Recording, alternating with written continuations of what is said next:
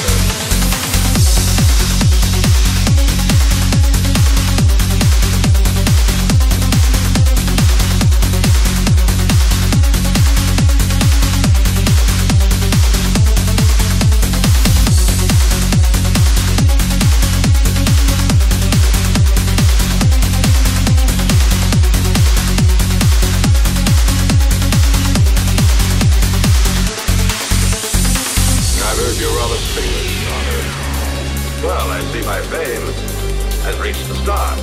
But let me give you a bit of advice. Here among the stars, it is better not to be quite so comfortable.